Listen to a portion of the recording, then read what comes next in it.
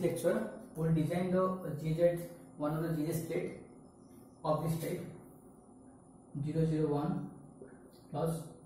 100. Sorry, 110. Just one minute. 110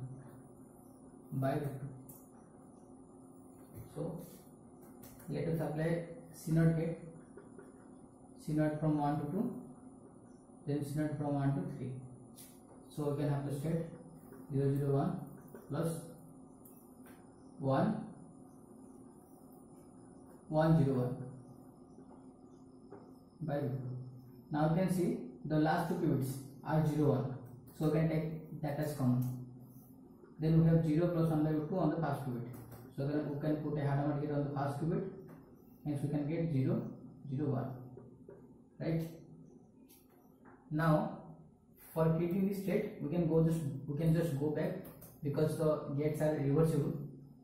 so take three qubits initializing state 0 0 1 so this is 0 0 1 now apply Hadamard gate on the first qubit then a CNOT gate from 1 to 2 then a CNOT gate from 1 to 3 now applying this state. Applying those gates we can create this state now let us this state using the Poisson code okay. so in the Poisson code we have already these uh, two commands in the book after then we will take two we will take three quantum registers. For that we can write q register 3 q raise in the bracket in the square bracket we will write 3 that means we have taken three quantum registers named as q0 q1 q2 which are initialized instead 0 0 and 0 then then we have taken c in the square bracket 3 that means we have taken three classical register uh, we have taken three classical register where where uh, uh, if you measure the three qubits what are the results those will be stored in the classical registers uh, c0 c0 c1 c2 c2 so we have the classical register here where we have c3 c c0 to c1 c0 c1 c2 now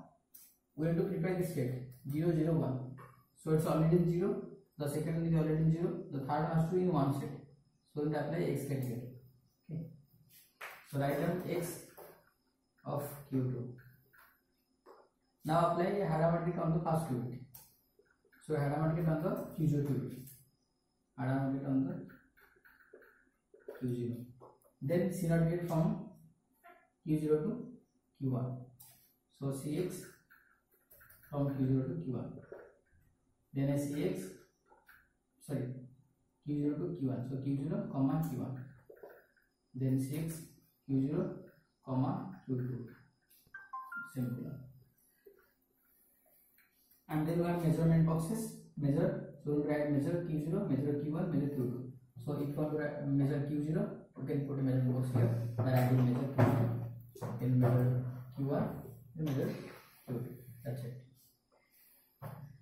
and all the, and after the measurement all the values will be stored in the classification c0 c1 c2 so this is the first measurement will store the values in c0 the second measurement will store the values in c1 the third measurement will store the values in c2 okay so by using this code we can generate this GZ state